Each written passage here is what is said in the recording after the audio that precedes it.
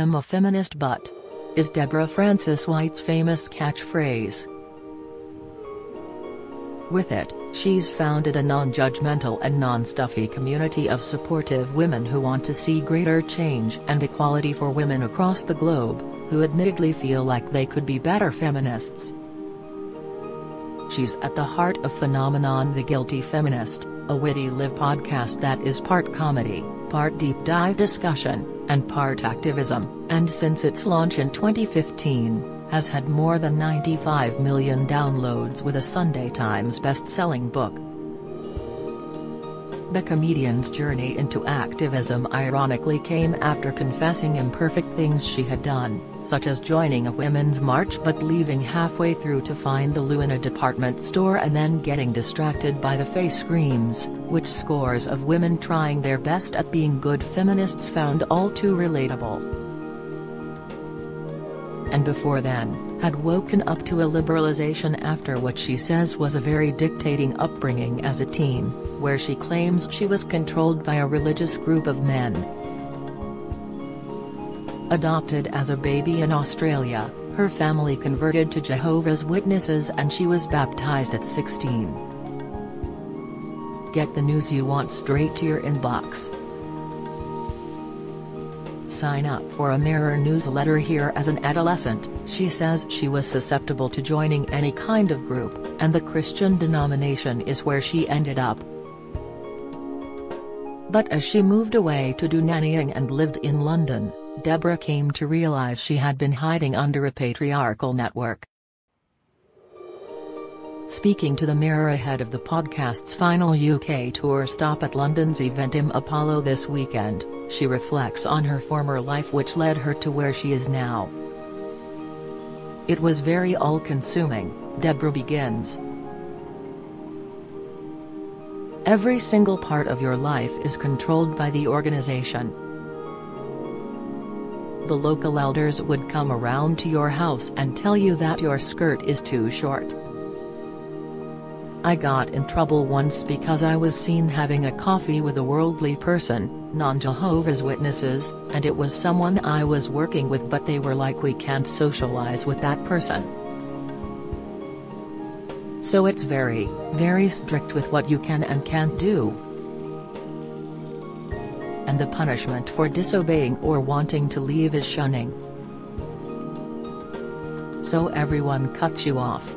So it's very poisonous, very isolating and very damaging to people.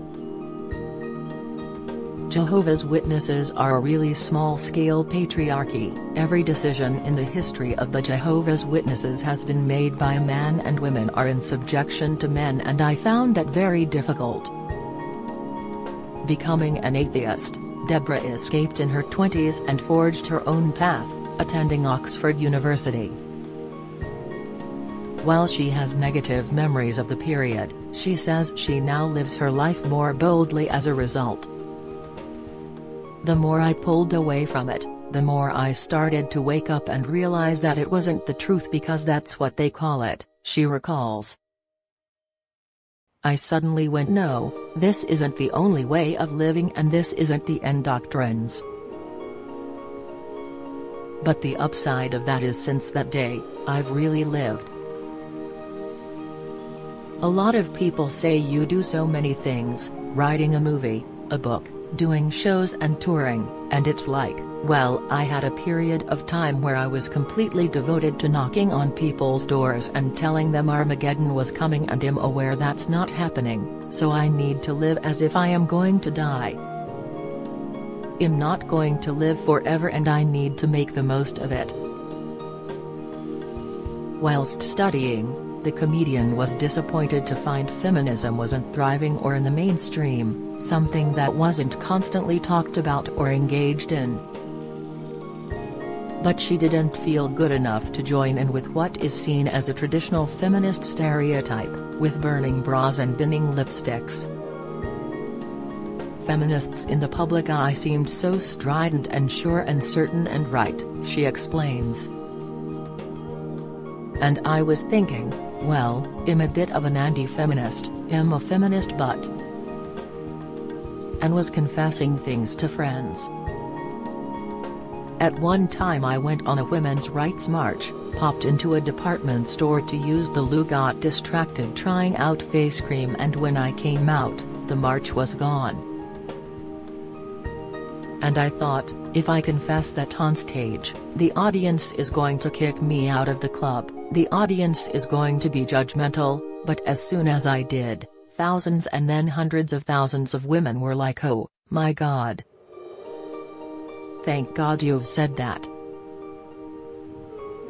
I think there are so many things like that, we believe everyone else is watching that documentary on the suffragettes while we're binge watching Say Yes to the Dress or Love Island.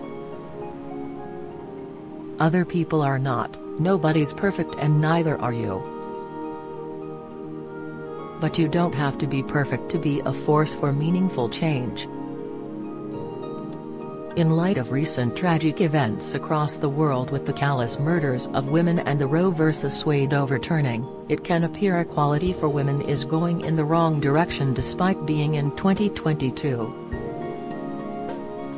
While Deborah says it's two steps forward, one step back, she is optimistic for the future when looking at how far things have come in the UK compared to this time a century ago and even a few decades before. We have made extreme extraordinary strides. When you think 100 years ago, most women in this country did not have the vote, she continues.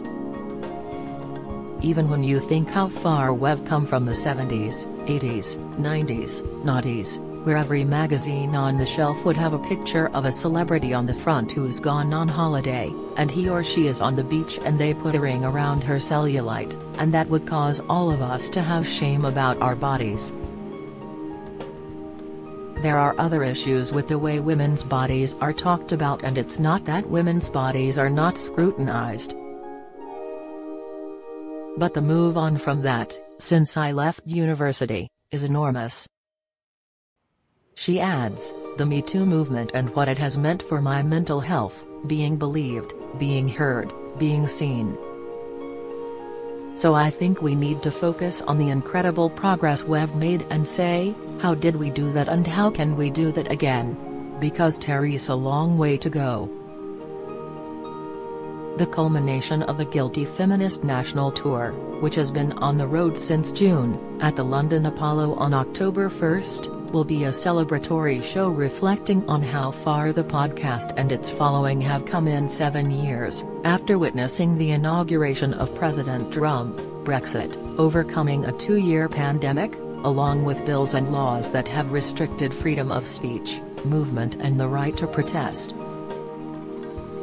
The theme of the show is We're Still Here, We're Still Fighting. It's going to be a joyful celebration, Deborah says, excitedly. Special guest comedians include Grace Petrie, Kemah Bob, Rachel Parris, Desiree Burch, Sindhu Vee, while there will be a musical performance by West End's Six the Musical. It's going to be a night that's going to leave people feeling energized and inspired to do more, to refresh and reboot, she continues. If people are feeling like they want to change the world but they don't know how, they're feeling just exhausted by the by-world events and they need to be re-energized, you know this is a place to come and get some joy.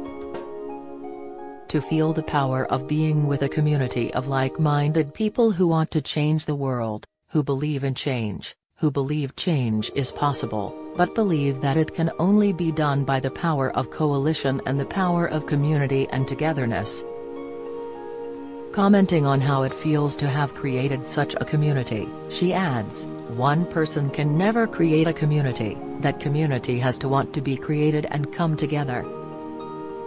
So I feel very lucky to be at the heart of that and it's a wonderful feeling.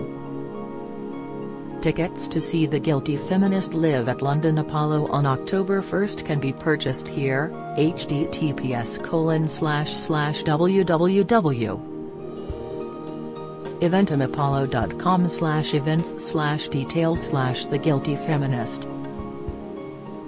More information about The Guilty Feminist can be found here https colon slash slash guilty feminist.